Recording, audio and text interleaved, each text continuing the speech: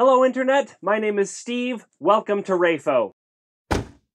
Now, last week we talked about the seven different planets that we've gotten stories on in the Cosmere. Since then, I got a lot of comments from people in reference to Sel, what I called the safest planet. Well, it's true that the planet of Sel is fairly safe. Getting to Sel is extraordinarily dangerous because of a huge amount of power stuck in the cognitive realm.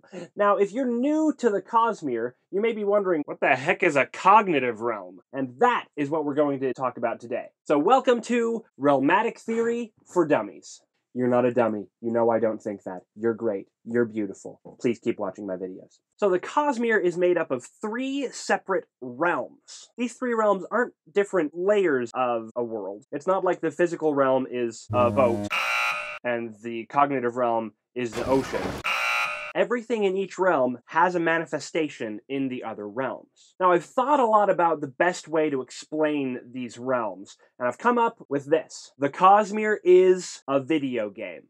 Go with me on this. We talked a lot about the physical realm, which is where most everything in the Cosmere books happens. People walking around, interacting with other people, picking up things, being specific places, physical stuff the physical realm is basically what you see on screen. You've got your player character, you've got all the non player characters, and everything that you interact with in the game is the physical realm. While you're playing the video game, you are in a specific place, your game clock is running. Then there's also the spiritual realm. We don't really know a lot about the spiritual realm at this point, but presumably it's where your spirit is. Now, the spiritual realm is like the electricity that powers the game. Electricity is not a single point in space, it's not a single point in time. It permeates the entire system. And without electricity, the game simply wouldn't work. And who knows? Maybe when Mario falls into a pit of lava, that Mario goes to a fancy electrical afterlife.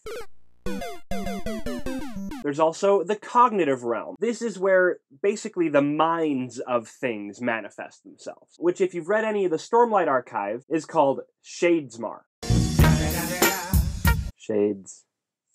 The cognitive realm is like the game code underneath. Everything that occurs on the screen of the game is because the code said that could happen. Just like anything that occurs in the physical realm is because your mind said, yes, you should do that. Now, just like a video game, there are certain things in the cognitive realm that would allow you to do something different from what you would normally see. Basically, there are glitches that you can exploit which means anyone using magic in a Cosmere world, Kelsier, Kaladin, Kenton, what's with the K names, Brandon? Vasher, Raoden, cheating. Just like a game code is really different from the actual game, the cognitive realm has some huge differences from the physical realm as well. Land masses and bodies of water in the cognitive realm are basically reversed. Where there's a continent in the physical realm, there's an ocean in the cognitive realm. Where there's a pond in the cognitive realm, there's an island in the physical realm. And depending on the world that you're on, things will look different. We've gotten a glimpse of the cognitive realm of Scadrial, and what is landmass there becomes sort of a mist on Roshar. The physical landmass there becomes an ocean of spheres. In the cognitive realm, because space itself has been bent, the spherical worlds of the Cosmere have been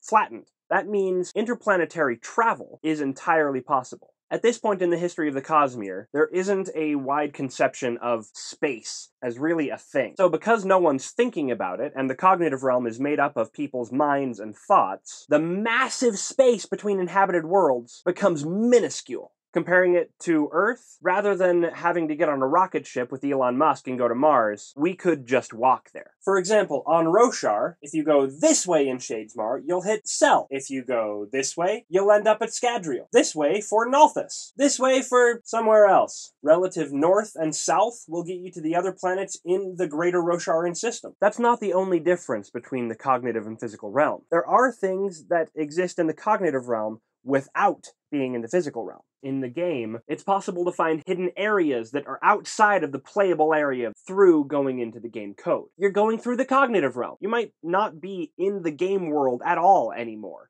but your game clock is still running. We know specifically of one country that exists solely in the cognitive realm Silverlight. Don't know a lot about it? But it's got at least one university, so it's smart. Now, going into specifics about the cognitive realm can get kinda spoilery. I'll warn you. Because the physical realm and cognitive realm are so different, there are also different dangers depending on where you are in the cognitive realm. We haven't even met them yet, but I know I would never want to run into an anger spren. The cognitive realm of Sel is incredibly dangerous. You'll encounter a giant raging plasma storm called the Dor that will just tear you to shreds. We'll talk more about what the Dor is next week. Which means, although Sel is the safest planet in the Cosmere, the cognitive representation is probably the most dangerous place you can get. So, to sum up, Everything has a body, mind, and spirit. A stick will know it's a stick and will be a stick spiritually. Your player character has a specific set of game code, which is powered by electricity. Thank you again for watching. As always, please subscribe so you're notified for my next week's video. If you want to learn more about the Cosmere or Brandon Sanderson, check out other videos that I've done. If you have more questions about realmatic theory and the cognitive realm, I suggest going back to Oathbringer or Mistborn Secret History. There, if you have any other questions, you can read and find out.